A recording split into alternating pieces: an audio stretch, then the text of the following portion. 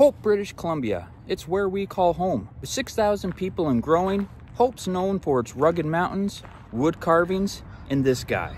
All roads lead to Hope, they say, and I'm going to show you around our town.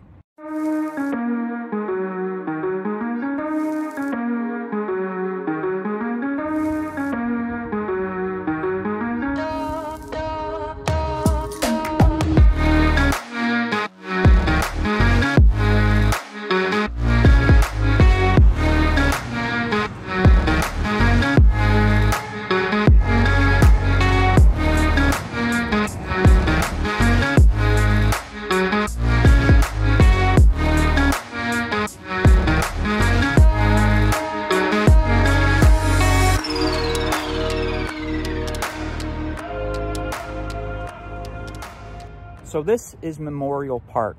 This park is in the dead center of Hope, British Columbia. It's where a lot of tourists come and it's just a beautiful, beautiful park with a lot of really old growth trees. Look at the size of this tree. Can almost not get it in shot.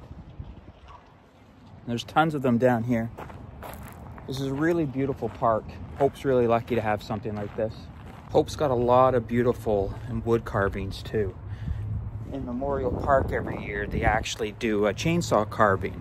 And when they have that this year, we'll bring you guys along for that because it's a lot of fun. It's a place where you can actually watch them uh, and make some of their carvings.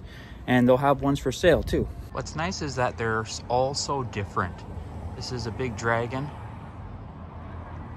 The detail is pretty incredible but there's some that are just absolutely amazing. Very unique one. It's got a lion on top with maybe a deer and then a goat or a bighorn sheep maybe.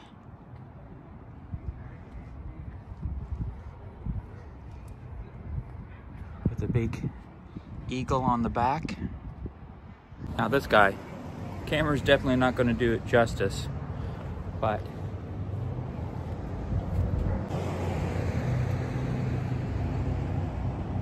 massive.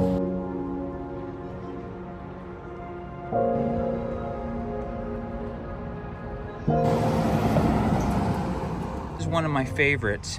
It's a big Sasquatch bench. The carver is Pete Ryan. Unfortunately, he passed away a couple years ago. But a lot of this art is from him. He lived in hope.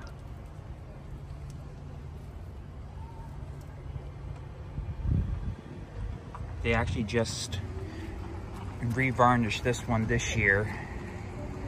There was another one over here. I'm not so sure what's happened to it, but they get weathered.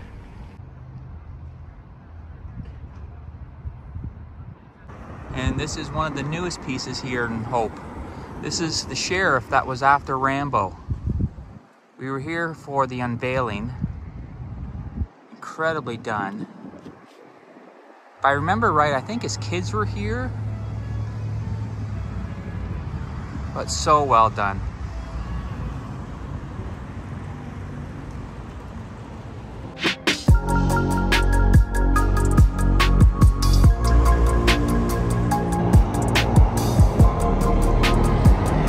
Funny how I feel so much like a tourist walking around with my camera in my own hometown, but just wanted to share this video with you guys and just show you where we live and why we chose Hope as our town.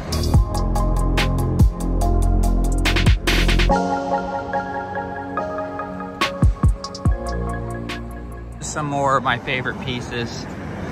Unfortunately, this one sat storage for probably about two years before they put it down here by the Fraser River.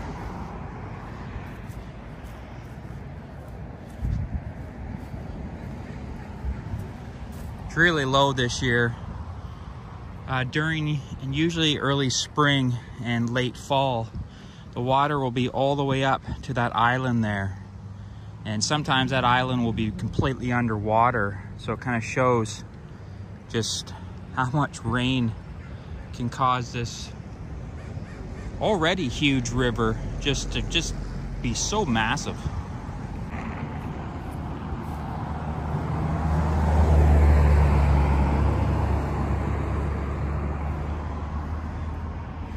Unfortunately, it's a lot of volunteers that do all the upkeep. And of course, you know, if you don't have money, then it's hard. Because some of these are definitely getting very old and would take a lot of work to kind of bring them back in their glory, but it's uh, definitely worth it.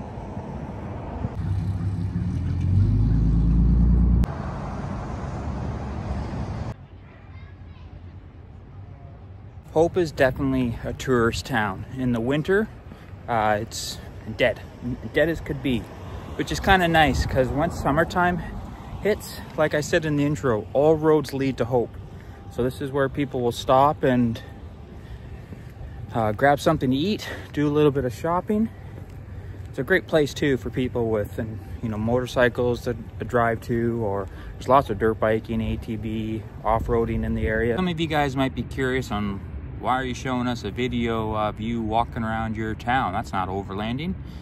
Well, this is what you got to do when uh, your truck is in the shop. And unfortunately, it is done. I just couldn't get to it in time. Uh, it closed on Thursday. Um, but because I know this is an overlanding channel and I know a lot of you guys are here because you know you too have a GMC so I just want to share with you guys just what happened uh, so maybe you know you could you could be prepared if this ever happens to you or if it does then you know what's wrong with it. Uh, so the video that we hiked to that abandoned cabin in the woods that was basically untouched, uh, just unfortunately falling apart.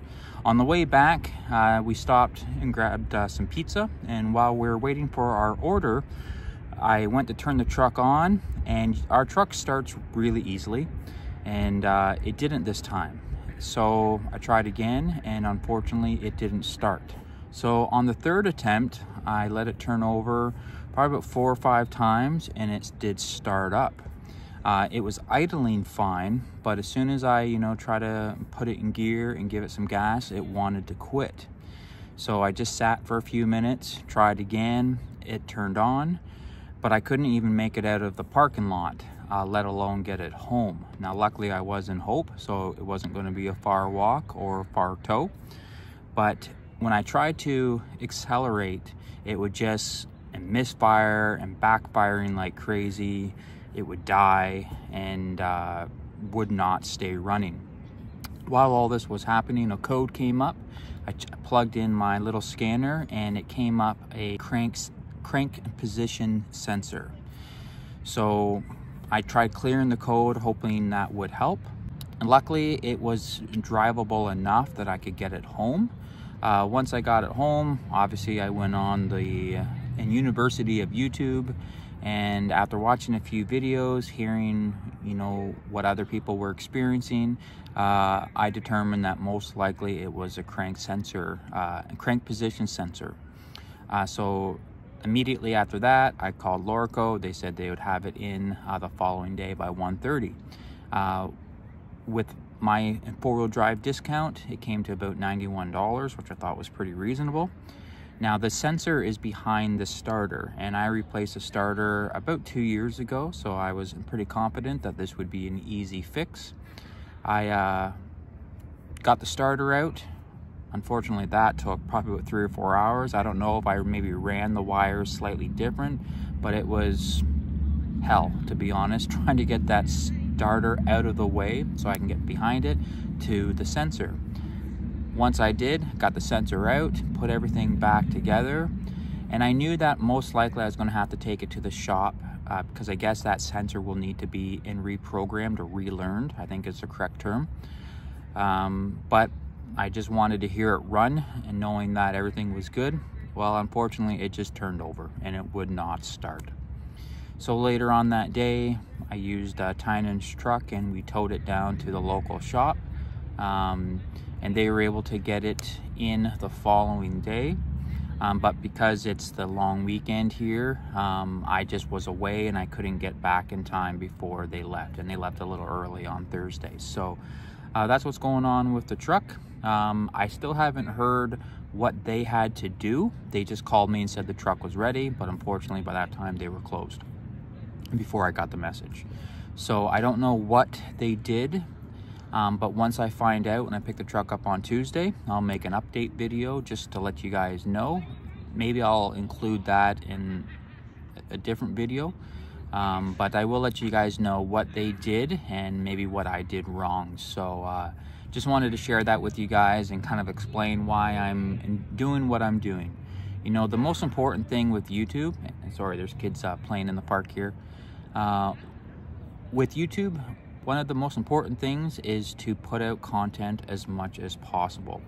Not every video is going to be some super epic show, and uh, that's just the way it is sometimes. But uh, when you're a beginner YouTube and your content, you know, has small amount of subscribers, small amount of views, uh, key is just to keep pumping out the content. So that's why I did this. And today, uh, you guys will see this video after the Mine Explorer video. So it will be a few days.